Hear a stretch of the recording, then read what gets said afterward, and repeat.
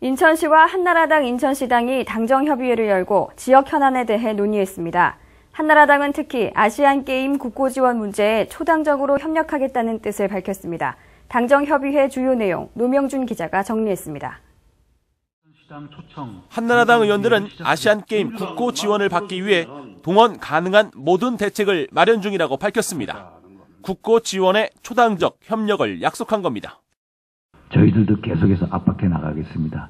특히 문방위에 계신 우리 존경하는 조정 의원님 또 이경재 의원님께서 큰 역할을 하시도록 우리가 계속해서 격려와 응원을 해주시기를 부탁드립니다.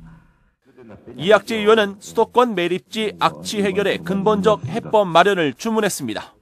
이 수도권 매립지에 대한 어, 관리 감독의 그런 어떤 권한 행사 내지는 어, 책임을 인천시가 다 하지 않았다 그동안에 너무 이게 어, 버리는 치우는 자들의 문제로 생각했지 인천시는 악취방지법과 대기환경 보전법 등 관련 법령 개정에 당이 적극 나서줄 것을 요청했습니다.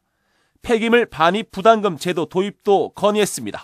내년도 2012년도 예산에서 서울시 예산에서 수도권 매립지 환경 개선 예산으로 어, 정확히 계상이 될 수 있도록 촉구해 가겠다는 말씀을 드리겠습니다.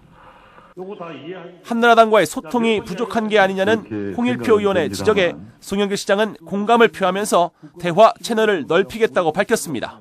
이 밖에 의원들은 인천대 법인화와 국제병원 설립에 인천시가 적극 나설 것을 주문했고 송 시장은 한나라당이 힘을 보태줄 것을 요청했습니다.